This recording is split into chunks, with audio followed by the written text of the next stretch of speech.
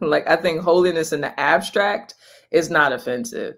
I think when it gets down to uh, submit your body as a living sacrifice, holy and acceptable unto God, whatever you eat or drink, do all things to the glory of like when you get into those kinds of like specific exercises of holiness that's when it get, gets offensive because now you're de- dealing with people's idols you know mm-hmm. you're dealing with people's sin patterns and sin natures uh, it, it's an inconvenience to give your life as a living sacrifice when you don't want to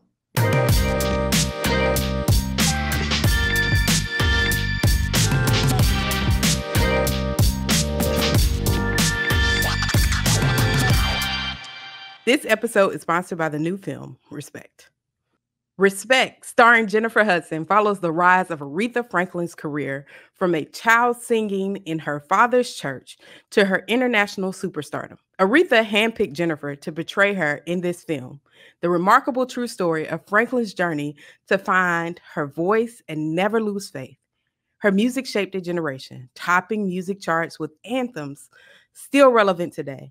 From Think to Respect to Amazing Grace, Jennifer Hudson's live performances of Aretha songs demand to be seen on the big screen. I saw it and it was a great film. Respect also stars Forest Whitaker, Marlon Wayans, Audra McDonald, Marc Maron, Tituss Burgess, and Mary J. Blige. Don't miss Respect. Only in theaters, August 13th. Well, thank you for watching another episode of the Jude 3 Project podcast. As always, I'm Lisa Fields, the founder of the Jude 3 Project. And today I'm joined by a very special guest, Mrs. Jackie Hill Perry, soon to be Jackie Hill Perry, PhD. Uh, she has a new book. In about 15 years. Correct. You're right. welcome. Welcome, Jackie. Thank you for having uh, the lesser intellectuals at the bottom of the pool on your show. I appreciate it. Glad to you're be not, here. You're not lesser. You probably know more Bible than some of the ones that have a PhD, honestly. I'm um, trying, um, girl. uh, tell our audience who don't know who you are just a little bit about yourself. Yeah, so I'm uh, married seven years to a man named Preston. We have three daughters and one son on the way because I'm five months months pregnant. And uh, yeah, I love Jesus and I do all things words. So writing books, communicating the scriptures, and uh, yeah, just yeah, speaking about things all the time. And, and you make a bomb chili. Um, I that. yeah, I that made Lisa some me. chili, and she ate every ounce of it. it, it she and I didn't even realize you wasn't responding to any of my like questions. You were just eating and saying, "Mm-hmm." It was amazing. So. I, I've been thinking about it since I left. Um, and a matter of fact, I asked my dad to make chili, uh-huh. and I told him that you said there was two things you put in it that I'm not going to say because I don't know if you give those things away on the internet. Right. And he saw me putting that in there, and he was like, "Why?" I was like, I, I, I had it before. Mm-hmm. It's good but mm-hmm. yeah. yeah. It sounds crazy, but it, it, it works. It yeah, really it, does. It does. So, but we're not here to talk about that today. We're here to talk about your new book, Holier Than Thou. Mm-hmm.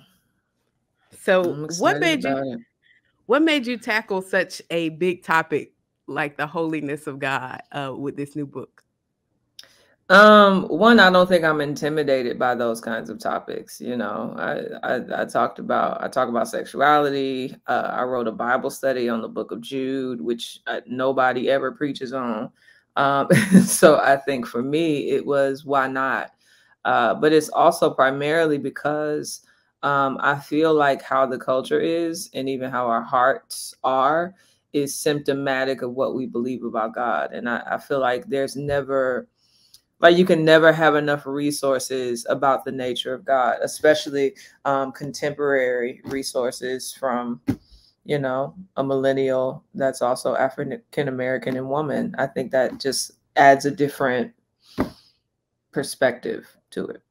Mm-hmm. That's that's so good. So so helpful. Um, one of the things about holiness yeah. is when people, if you come up like Jackie and I in Pentecostal, uh, were you apostolic, Jackie? or Pentecostal? Uh, started Baptist and okay. then ended up Apostolic Pentecostal. Yeah. So you know that the, so I'm, I'm just all confused. you know that holiness uh, can take on different forms in mm-hmm. the space of Pentecostal. What are some misnomers about holiness that you think people have, have been taught? Um, I feel like one of the primary ones is that holiness is just about rule keeping, you know, like when I used to go to church, like when I was growing up, it was like you had to wear dresses, you couldn't wear pants, you didn't go to the movies, you didn't listen to secular music, you didn't play cards, which always confused. I'm like, why we can't play cards? Like I can't play Uno, but I think they attributed that to too close to gambling or something. And so I think many people develop a framework of holiness that is completely centered around just be right, do the right thing. Uh, and it's like yes god's holiness uh what's included in it is his moral purity his his ethical standard the fact that he is sinless he is righteous he is good he is honest he is faithful he is consistent all those things uh, but it's also his transcendence the fact that he exists differently than us that he is not creaturely in any way and so i think when we hold both together we see that holiness is actually much wider and broader than we have understood it or taught it or lived it. Mm-hmm. That's that's helpful. What what is holiness? What is the yeah the right understanding of it? Yeah, so the root word of holy is to cut or to separate. And so holiness conveys the idea of separateness. We obviously observe it first in Genesis 2 when God uh got some in my hair. When God makes the uh, Sabbath day and he sanctifies it, he he makes it holy, meaning he sets it apart as unique and distinct from all the other days. It's a day that's supposed to be treated holy as unto God. And so holiness again is just being set apart. Now the two categories that define God as holy, which I just mentioned, is God's moral purity, that God is righteous, without blemish, without stain, without wrinkle. But it's also that God is transcendent. He is unique. He exists ontologically different than us. Mm-hmm. And um, I think one of the I think a really helpful practical way to bring that down to okay, what is how does that help me to understand that God is holy? Well, let's say the verse uh, cast your cares on me for I care for you. When you set up God's moral purity, it means he's not lying. Like it, it means he has compassion. He's not apathetic. But if he's transcendent, it means that because he's sovereign over your circumstances and sovereign over your cares, he can actually use them to work out for your good and his glory. And so I think both of those together just shows you, like, oh, like God being holy is a really good thing. Mm-hmm. That's extremely helpful. Do you think holiness is controversial in this time? If we when we get practical about what it actually means to be it in our bodies yes. Like i think holiness in the abstract is not offensive. I think when it gets down to uh submit your body as a living sacrifice holy and acceptable unto god whatever you eat or drink do all things to the glory of like when you get into those kinds of like specific exercises of holiness, that's when it get, gets offensive because now you're de- dealing with people's idols. You know, mm-hmm. you're dealing with people's sin patterns and sin natures. Uh, it, it's an inconvenience to give your life as a living sacrifice when you don't want to. You know, when you rather give it to every Tom, Dick, and Harry that comes your way. And so that's part of the struggle. Yeah, it cuts at our very core of of culture right now. Like our ability to dictate our own destiny, our own truth. Yep. Um, and so uh, I imagine that there'll probably be people who uh, who don't like the concept uh, of holiness mm. in this day yeah. Uh, because of that. Yeah, which is one thing I've been thinking about is how even if we don't like holiness, we we want it. And what I mean mm. is um like even the ideals that we impose on our neighbors we want them to be good to us. We want them to be kind. We want them to be consistent. We want them to uh, not lie to us not steal from us. We don't want them to be greedy. Like all of these are holy things that we are expecting of our neighbors.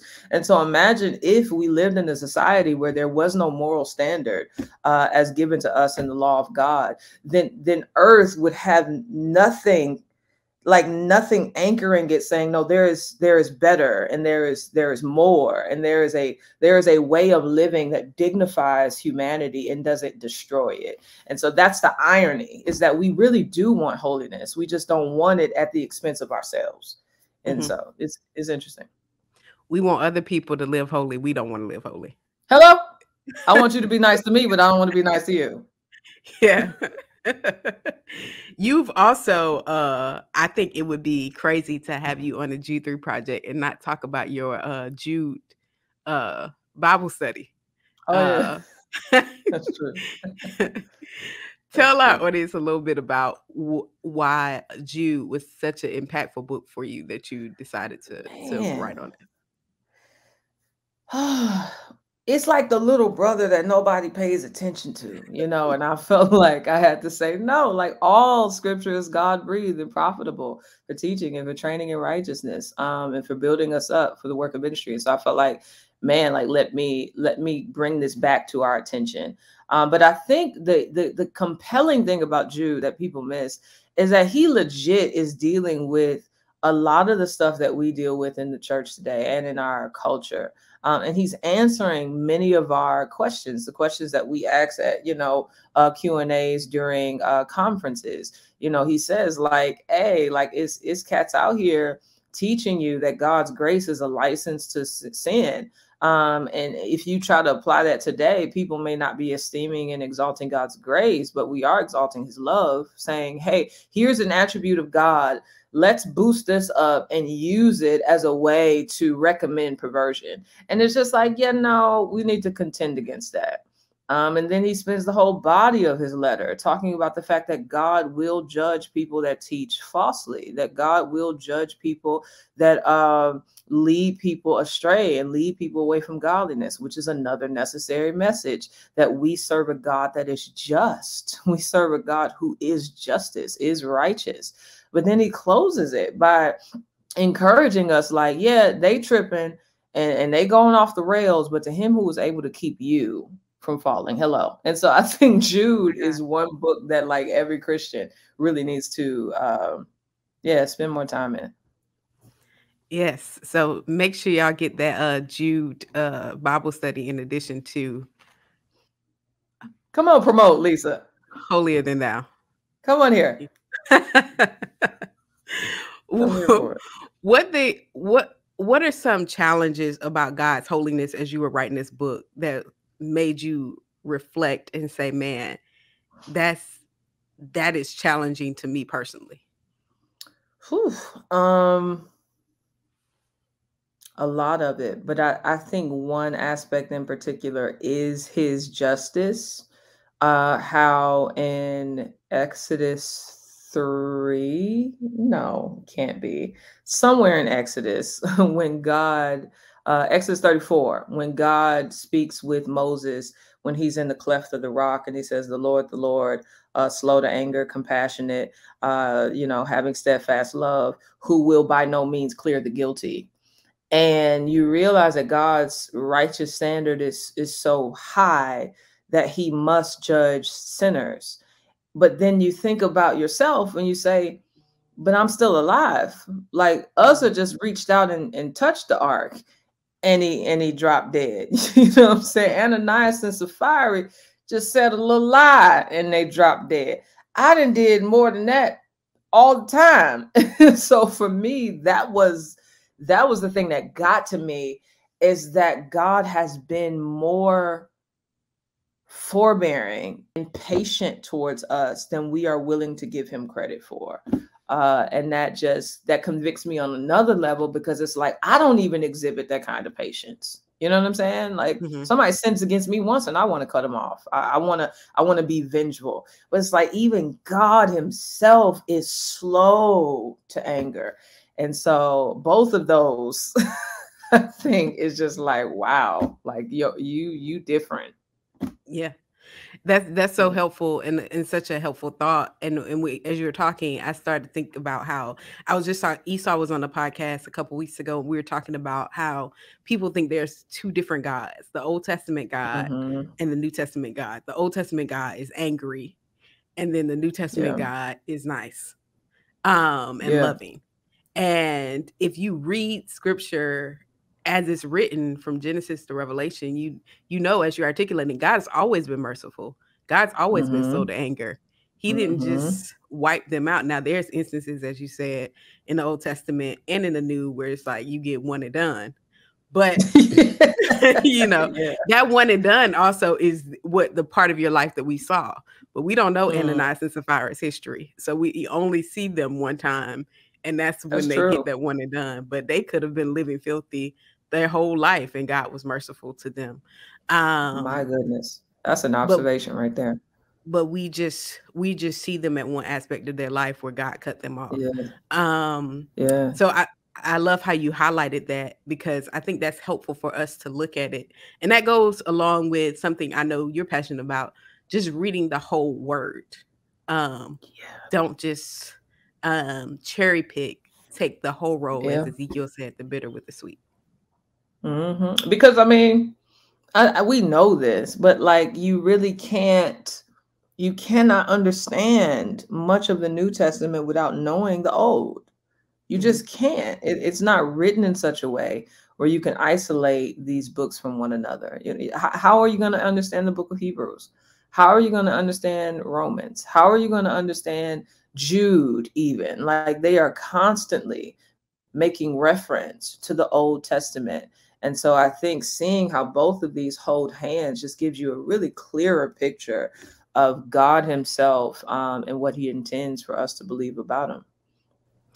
That's awesome. When you said hold hands, I just thought like a, a illustrator illustrating the Old and New Testament holding hands. That'd be dope.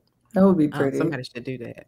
Um, they should. Because if any illustrators are like watching, that. send us that. Tag us. Um, I don't want to do the work, like, but if you feel moved, like this, and they're gonna put a world but beneath it. Like they always got worlds and hands next to each other in pictures. I don't get it. So. so what are what are the apologetic challenges you see? I know people give mm-hmm. you send you a lot of questions. You and Preston. Preston has um, conversations on the street. Is that what it street combos, mm-hmm. right? Mm-hmm. Um, so yeah, he talks to strangers about the faith. Yeah. Jackie, not so much. I don't see her talking mm to strangers on the street. No, ma'am.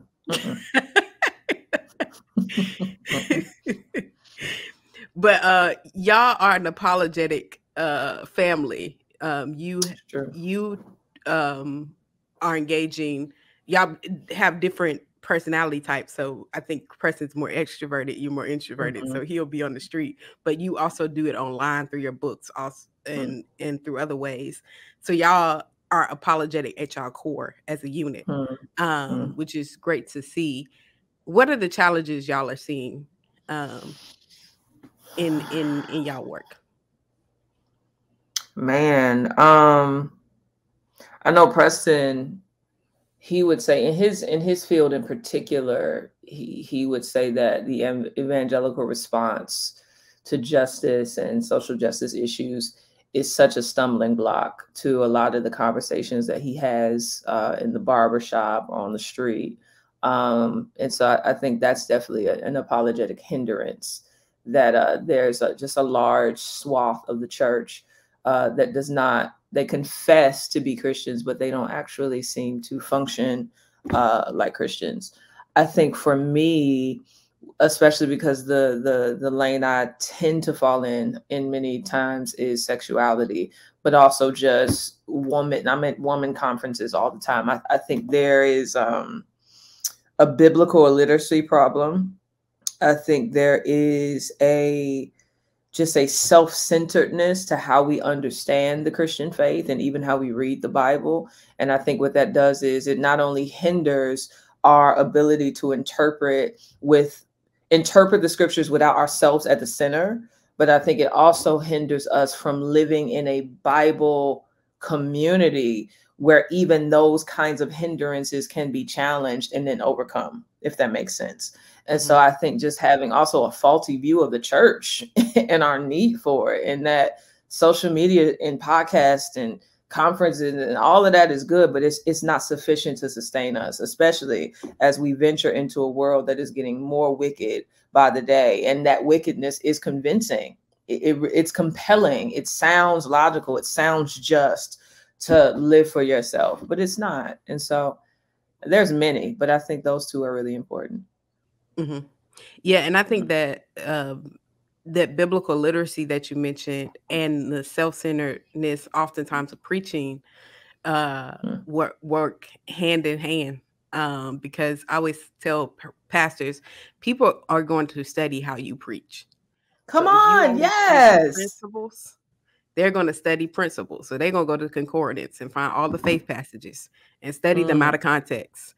Or, mm. uh, you know, they're going to study. So if you teach them through your preaching how to study the word by preaching ex, uh, expository t- uh, preaching, which I mean, that's mm-hmm. not, you know, you can do topical, but have a healthy balance. But if you don't teach people how to go through the word, they're always going to mm-hmm. think about scripture going for a point or a principle, not necessarily going mm-hmm. through scripture to understand it. That's absolutely true. Because so much of how I study the Bible is based on how I observed other people study the Bible, period.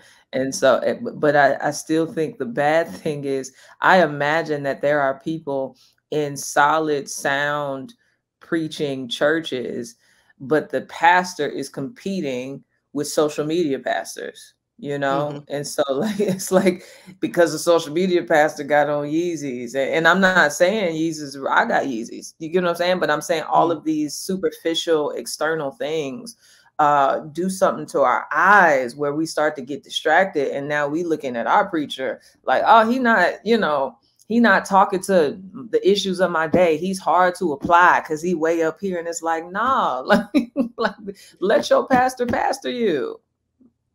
Yeah, because th- those uh the popular pastors ain't gonna marry you, bury you. Hello, come to your come when there's a crisis.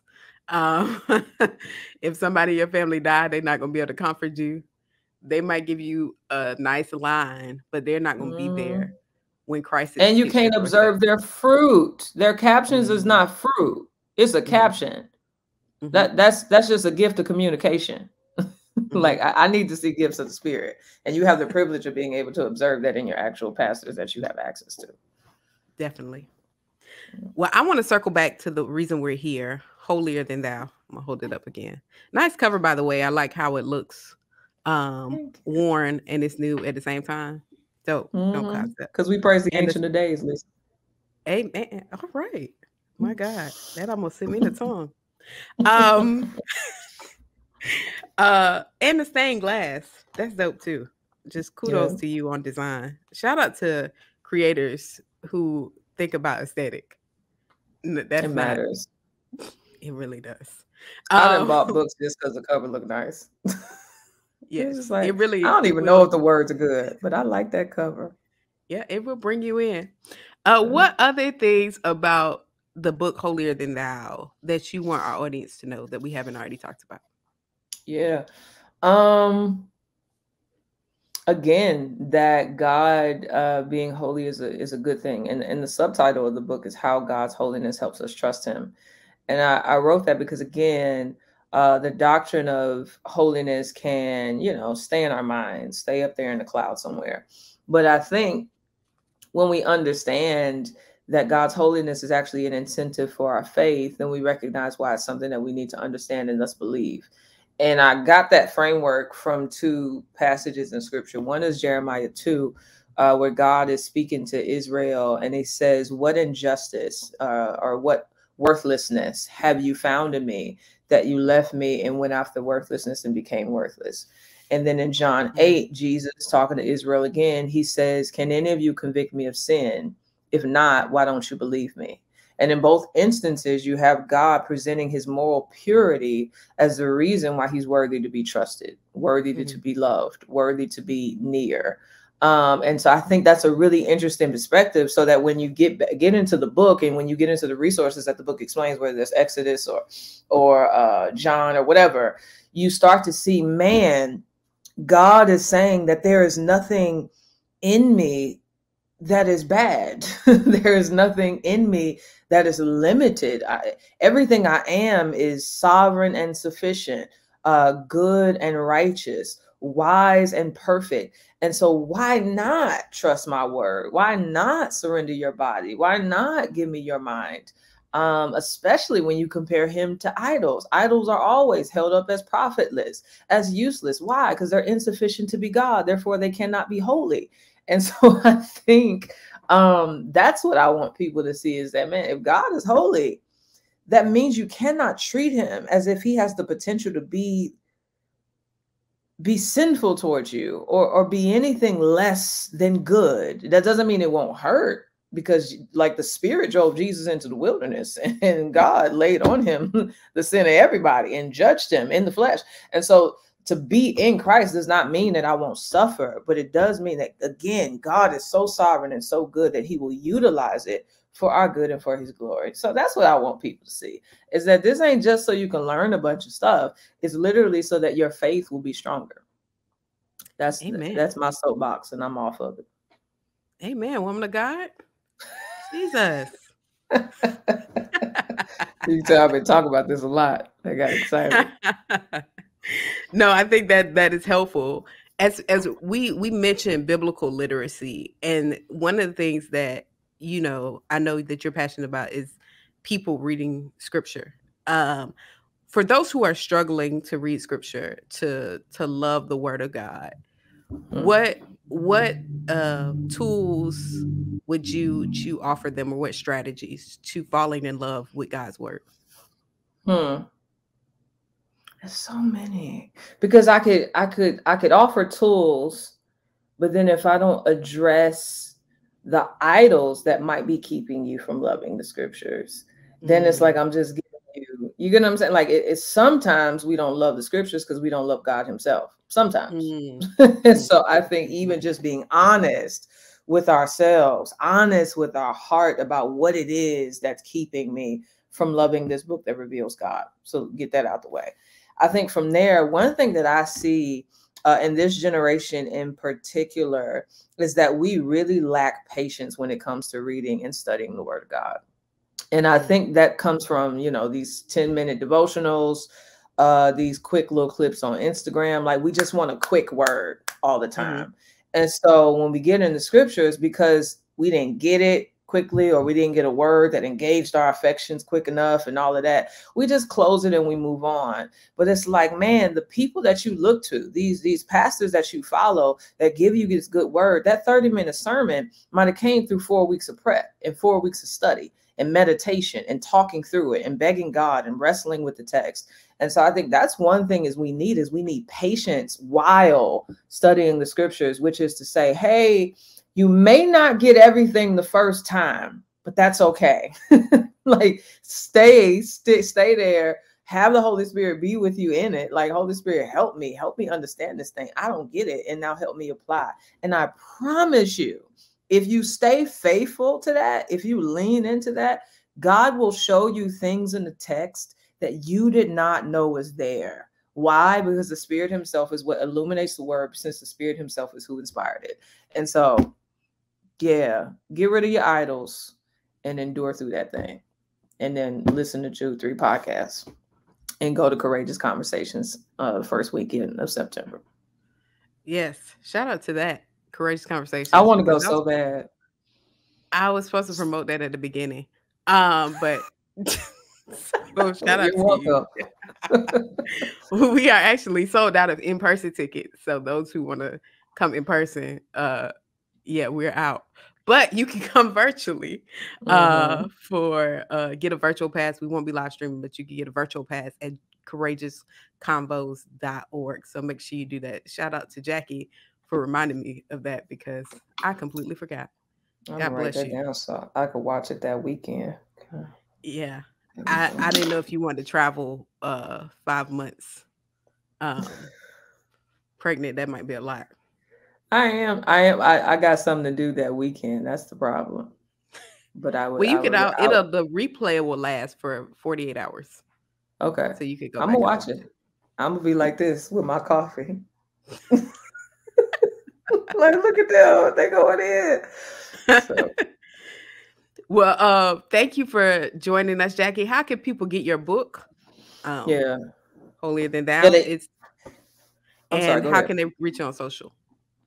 Um, holier than thou book.net is probably the best because you can, you know, uh, click on all the sources uh, that has it. And then social media, I don't think there's other Jackie Hill Perrys. There might be. And so I think if you just type in Jackie Hill Perry uh, and you see a brown skinned girl with a gap, long dreads, and a bunch of kids, then that's me.